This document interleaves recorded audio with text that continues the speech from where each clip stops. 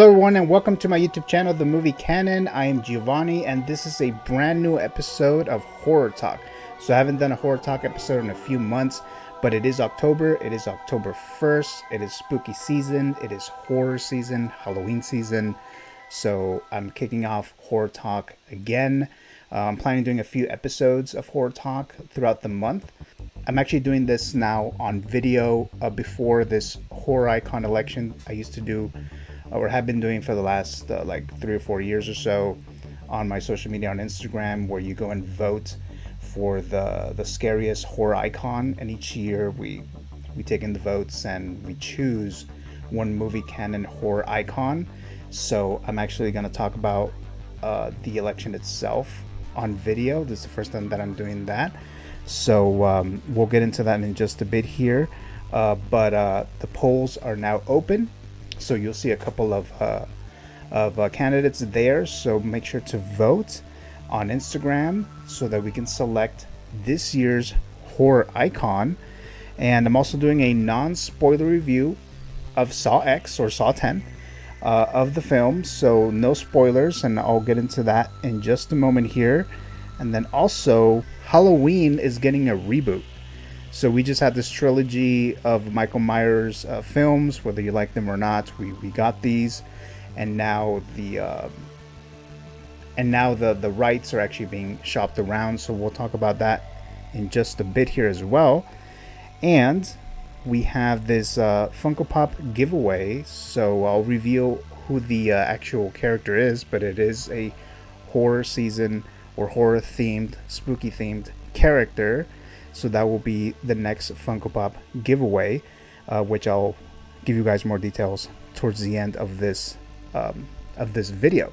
Okay, so that's kicking off a horror talk for the month of October here on my channel, The Movie Canon.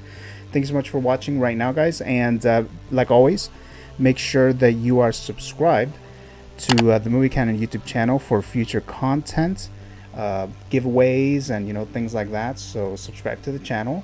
Okay, everyone, let's go and get started with the first thing here. So again, we're doing a non-spoiler review of Saw X or Saw 10. So Saw X serves as both a direct sequel to Saw, the, the film that came out in 2004, so the first one, and a prequel to Saw 2, which came out a year later in 2005. It is directed and edited by Kevin uh. I, I, don't know if I'm pronouncing that right or not. And written by Josh uh, Stolberg and Peter Goldfinger. So the film stars uh, Tobin Bell, or Tobin Bell, uh, as John Kramer and Shawnee Smith as Amanda, reprising the roles from the previous films. Uh, so is this going to be a see it, a stream it, or a skip it? You know, the movie canon rating system uses those three components there. So I'll give you my thoughts uh, on the movie uh, in just a moment. Like like always, I separate these by positives, the pros, uh, the negatives, the cons uh, of the movie. You know, each uh, factor or elements that uh, leads to these positives or negative components there. Okay, so the positives things that I'm going to say about this movie is uh, the lead, uh, uh to- Tobin Bell. And I'm sorry if I'm mispronouncing his first name, but uh, I think it's Tobin? Tobin? Tobin? Tobin Bell. So he is Jigsaw, he is John Kramer. Uh, his performance has always been good when it comes to these Saw movies. There was never any complaints about his performance. I always thought he did a great job playing this character. The difference here is that he is actually able to show a little bit more range in his acting abilities than the other Saw movies. Uh, mainly because of a, a, much stronger script, and uh, so I mean the, the, actor is is obviously much older. The first movie came out in 2004, so he's reprising uh, the role as uh, John Kramer again here, and it's been like 19 years almost since the first movie, and so he does look older, but it actually works here because in the timeline he's actually uh, supposed to look uh, weaker and more frail because of the the cancer. You know how it's progressed to a certain level that it's getting close to ending his life, basically. So he actually looks the part. So it does it's not distracting at all that he looks older because he is ill. Uh, so that works perfectly fine. The other uh, character here, uh, Amanda, which is played by um, uh, Shawnee Smith, now she does look older, but uh, it wasn't distracting to me at all. Uh, so that, that, that was perfectly fine. So I was fine with that. Uh, the next positive here that I'll mention here are the traps. So the traps Uh, the traps are always good when it comes to Saw. Uh, that they always try to do things differently. Uh, they're a little bit creative with the, the, way that they do the traps, make make things a little bit more um, interesting. Or well, later on in the movies, they get a little bit more gory and things like that. Uh, so they're always good with that. That hasn't changed in this movie either. Uh, the the traps are are effective. Uh, I would say that they're a little bit simpler in a way, even though there are a lot of the traps in this movie that are definitely quite sophisticated or whatever the case. But that's just the character himself. That he's an engineer and and able to do these build these traps and things like that. But I, I find it to be a little simpler, even though the art could be like a little over the top sometimes. But uh, the next positive thing here i'll say which is this is the main thing. You guys have been watching me my reviews and things like that. The main thing for me for a movie and i think it's for a lot of people not just me but is of course the script. The, the story in this new Saw film is by far the best one in years. Now, granted, that the, the bar is not that high, but I can tell that the filmmakers here did put an effort, a little bit more extra effort in the story here, the characters, the conflicts, you know, things like that. I did kind of get a, a sense or a feeling that they actually put a bit more uh, attention to certain things there, and um, which turned out to a pretty good uh, story here, good good script. And yes, the, the Saw franchise, including Saw X, has its over the top moments, like I mentioned a little earlier. But but it's grounded enough that uh, it still made sense to me. Uh, I will go as far as to say that the filmmakers made me more invested in, in Kramer and even Amanda in this new movie. Also, the victims are also pretty uh, nicely developed for, for the time that we have with them. So, you know, overall, when it comes to the, the story and the characters, uh, they're much stronger here, much better than other Saw movies before. Uh, like, really, if you were to compare this movie to uh, any other Saw movie, with the exception of the first one, because I would, I would still say that the first one is probably the best one because of the novelty of things, which I'll get into that in the negatives section in just a bit here. But uh, if you com- compare those other movies like Saw two, three, four, five, six, seven, eight, nine, or even some of those Saw movies, which are kind of like I think one of them was supposed to be a reboot, which didn't really do much, and then they went back to that that Book of Saw, book, book of Jigsaw movie with Chris Rock, which was kind of weird seeing Chris Rock in a movie like this, but when you look at all those other movies, you can tell there there's there's a big difference between this one and those other installments. So this one is definitely one of the better ones, and I would say this is the, the best one since the first Saw movie. Now, if you never ever liked Saw in the first place, if you saw the first one and you didn't like it then, I don't think this is going to change your mind. So, but if you did like the first one, I think uh, I think you'll enjoy this one, especially compared to the other ones. Now, I'm going to get into the negative section here. So the negatives, um, so the, there there are a couple of negatives there and uh, I would say that the main one here is, um, like I mentioned, that the, the Saw franchise sometimes uh, have their over-the-top moments. Uh, definitely some more than others, and uh, Saw X does have them. Uh, some of the story beats are a bit too convenient uh, for for my taste, but considering some of the insanity in the other installments, this one was still a bit more doable. So yeah, like there was parts in the movie and the script that is like, okay, well that was a bit convenient, but uh, we see that a lot in other movies, not just Saw, but just in general. There's a lot of things with the story that, okay, well, this is very convenient to move along a certain plot device, a certain resolution, or whatever the case. So, uh, so yeah, the things being convenient, that, that, I would say that's a, a negative, but it, it wasn't too bad that it, it completely derailed the movie for me at all. Another thing here, I'll say that when it comes to the negative components here, and you know, this is the 10th installment of a horror franchise. And you know, the novelty of it has disappeared. So some of the elements that make up Saw are, are definitely not new, or at least they're not presenting anything too drastically new here in Saw X. Uh, this, the only thing that you can do differently in a Saw movie is offer a better story, which I I would say that they did here and you know change up the traps you know be more creative and thinks about different ways to do these traps. Um, otherwise there's not going to be anything drastically um, innovating in, you know another saw movie but uh, but yeah so compare it to let's say the very first time we saw the first movie uh, there's a novelty to it. There's something new about it something different uh, so with this one with the 10th one you do lose a little bit of it so ultimately i enjoyed saw x it is a much better installment than the more recent films for sure and the script was surprisingly strong in this a new installment so i'll say saw x is a see it and i'll give it a, a solid strong B. So that's uh, Saw X.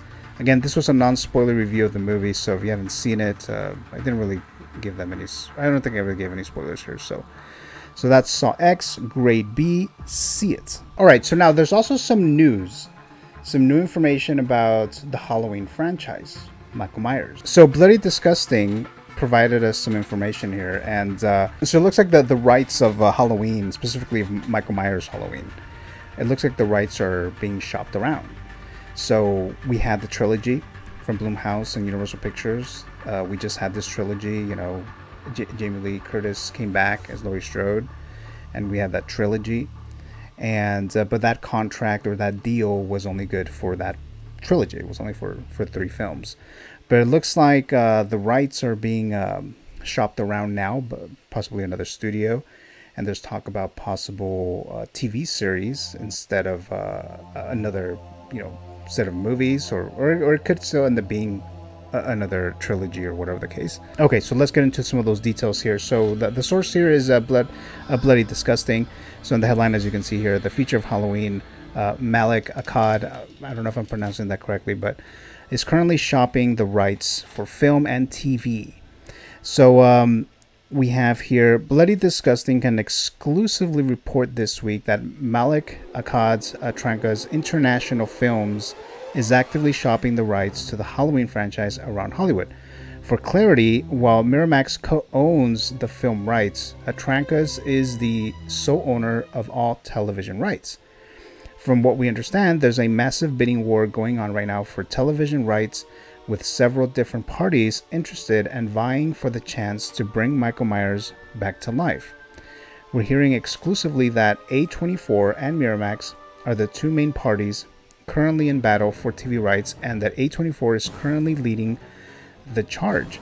As you might recall, A24 recently won the rights to produce a Friday the 13th television series and is being made for the Universal owned Peacock. It's titled Crystal Lake.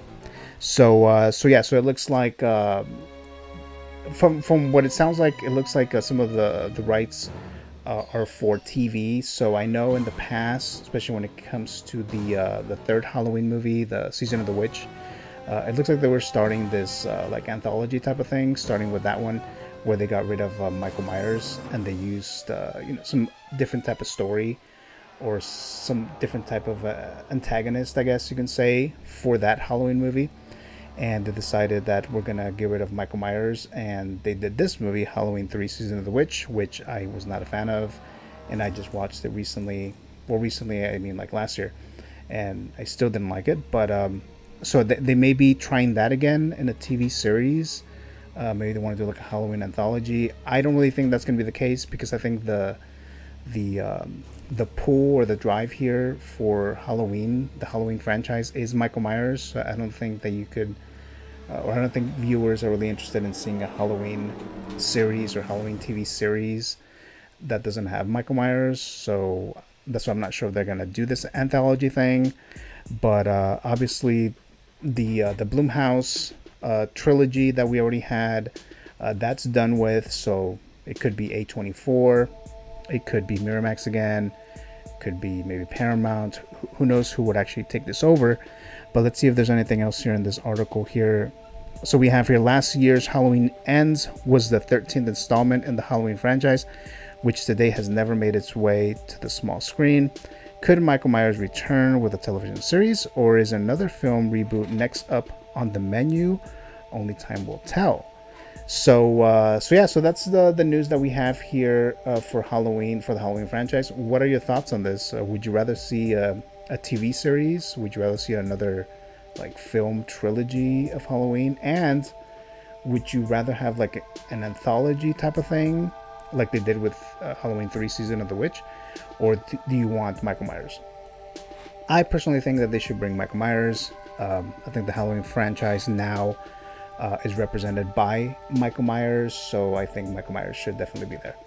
Uh, but we'll see what happens. So I'll definitely keep you guys up to date. So that's the most latest news about uh, Halloween, uh, Michael Myers, and now I'm gonna move on to the uh, the horror icon election. So as I mentioned uh, before, I've been doing this horror icon election for the last like three years or so. So mainly I was doing on on Instagram. Uh, I never like recorded a video or anything like that. This year I decided to like just talk about some of the uh, the the polling and the the characters that are in, involved in this horror icon election. So it started today. So if you go to my social media, if you go to Instagram, so we're going to uh, narrow it down as to who's going to be this year's horror icon uh, for the movie canon's um, election. So uh, now you would have to go again. So the polls, like I said, are now open. Uh, so you just go to the Instagram, to my Instagram page at the movie canon, uh, follow the page, subscribe to the channel, uh, so you can vote. So uh, the last three winners. So the the first time I did this, Freddy Krueger won. So he was the that year's movie canon horror icon a winner. The second year, Pennywise won. And then the third year, which was last year, Freddy regained the title for uh, horror icon, the movie canon um, of the year. So is it going to be Freddy again? We'll go back to Pennywise. Will it be Michael Myers? Will it be someone completely different? Who knows? But uh, it's up to you guys. So you go to Instagram, vote there. I'll be having this horror icon election throughout the month. Most of the month, I'll have some kind of a poll uh, going on and then narrowing it all the way down to the ultimate fourth annual horror icon winner. So, in your leave the comments below. Say make your predictions. So make your predictions in the comment section below. Who, who do you think is going to win? Uh, it is up to you. It is up to you guys to vote. Just make sure to go to Instagram because I'm only doing the poll on Instagram. I don't think I can really do it on YouTube, but uh, mainly it'll be on on Instagram. So definitely check that out. But uh, the main thing here, what I wanted to mention here, I am going to talk about uh, the first few uh, candidates for this horror icon election. Uh, I'm not going to be able to do it for all of them because there's a lot of them. Uh, there's going to be like uh, two rounds a day, I think. So just to kicking things off, you know, to kick things off here for this horror icon election, I am going to talk about these first two. And these first two here uh, this is the first time that they're actually in this movie canon horror icon election. Um, well, one of them because character didn't exist the first time that I did it, which was in 2020. Uh, so this is uh, Pearl, and then we have Art the Clown. Now, last year, by the end of the horror icon election of 2022, towards the end of it, I just asked uh, on my social media on Instagram if they felt that Art the Clown um, is now at the status of horror icon that he could be in this election. And you guys voted yes. So starting this year, 2023, Art the Clown from Terrifier has joined this election. And Pearl, Pearl, same thing. Now, Pearl, I just recently asked on my Instagram page if she should be a part of the horror icon election. Uh, I think it was just like last week that I asked, and she did win. So a lot of you guys do believe that she's, you know, scary enough, good enough to be part of this horror icon election. So I'm starting off with these two. Okay, so I'm gonna just briefly talk about these characters here real quick. So like I said, I'm not gonna be able to do that for all of them, but uh, kicking things off, I'm getting this information from, you know, the internet. So uh, we have Art the Clown is a fictional character in the Terrifier franchise and related media.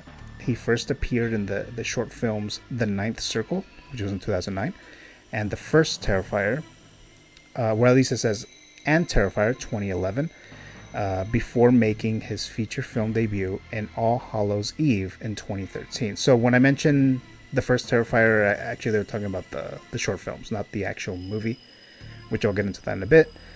In these early appearances, Art was portrayed by retired actor Mike Giannelli in the canon Terrifier film series. David Howard Thornton was cast in the role portraying Art in Terrifier which is the first film that came out in 2016, and last year's Terrifier 2. Now, I know they're working on Terrifier 3, or um, I don't know if they're actually working at this instance, this moment, or this week or anything, but I know that they have already set a release date of October of next year, 2024, for Terrifier 3 to come out. So there's definitely going to be another Terrifier movie. And if you haven't seen these movies, these are super, super, super violent. Um, very very gory and i mean i, I liked I, would say that i liked them overall. Uh, terrifier 2 I did, did, like it pretty well as well. Um, but it's definitely not for everyone. Definitely not for everyone. As we move to pearl so again i'm getting this from the internet. So pearl subtitled an X extraordinary origin story. Uh, this is a 2022 american slasher film directed by Ti West co-written by West and Mia Goth. So this is really talking about the movie Pearl, which came out last year. Now Mia, Mia Goth, who reprises her role as the title character and featuring David uh, Cor- Corenswet, uh, Tandi Wright, Matthew Sunderland, and Emma Jenkins Pearl in a in supporting roles. A prequel to X 2022 and the second installment in the X film series, it serves as an origin story for the title villain whose fervent aspiration to become a movie star led her to committing violent acts on her family's Texas homestead in 1918. So the actor that I mentioned earlier, uh, David uh, Corenswet, I'm pretty sure I'm mispronouncing that.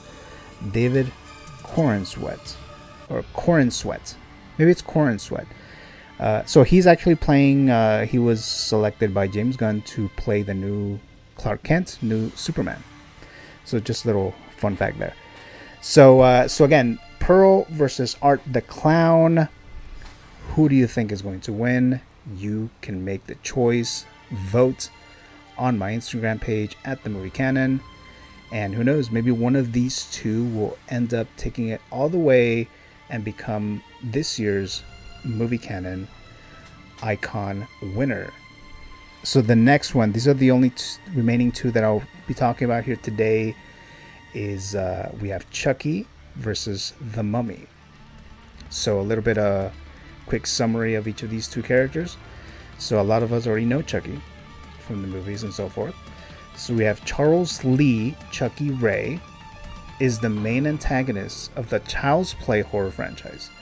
Chucky is portrayed as a vicious serial killer who as he bleeds out from a gunshot wound, transfers his soul into a good guy doll and continuously tries to transfer it to a human body. He later decides to transfer his soul across numerous doll bodies, each with their own memories, in an attempt to take over the world. So that's Chucky, and like I said, a lot of us know him. So uh, I know the last few years in the past, he's uh, advanced to several um, rounds and so forth. But um, I guess we'll see what happens this time because we have a few more new candidates this year.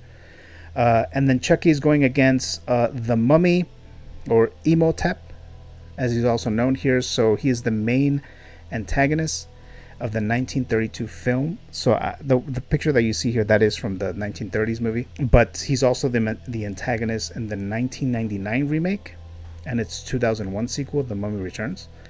And then Sofia uh, Boutella plays a female version of this character named uh, Ahmanet in the 2017 re- reboot, which sucked, by the way. I didn't even finish watching it. Uh, it's the one with uh, Tom Cruise. N- not a good movie. Uh, Imhotep is loosely inspired by the historical figure Imhotep, a noted uh, polymath and counselor of the pharaoh Djoser in the 27th century BC. So uh, so yeah, so that's the uh, horror icon election. So those are the the first four uh, icons that are going to start this uh, are going to kick off this horror icon election. So make sure to vote there. And uh, I'm planning maybe by the end of the month, hopefully, I'm able to do a video, or maybe even in the middle of the month, I'll still be able to do like a nice little roundup, like a little summary of what the polls have been doing with the candidates, maybe the ones that have been eliminated. Uh, maybe maybe you don't agree with some of them or whatever the case. So uh, so definitely keep an eye out for that. So I'll have a few episodes of, of horror talk and so forth. So so subscribe to the channel if you haven't done so already. And uh, let me see if there's anything else here. So I mentioned earlier that there is a new Funko Pop giveaway, and this is a horror or Halloween spooky season themed Funko Pop giveaway. And uh, I'm going to announce this new giveaway. Uh, all the, the same rules apply like before.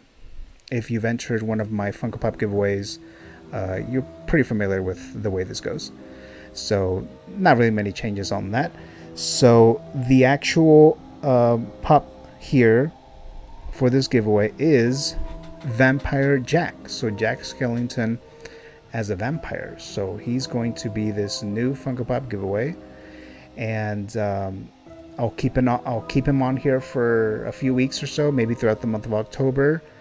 And uh, you know, the minimum entries, I still need them uh, must have a mailing address with the United States, must be a subscriber to the YouTube channel, The Movie Canon, or, or a follower on Instagram, The Movie Canon. So you can possibly win this uh, Vampire Jack of Funko. So this was the uh, the horror Halloween themed Funko Pop. So this is it.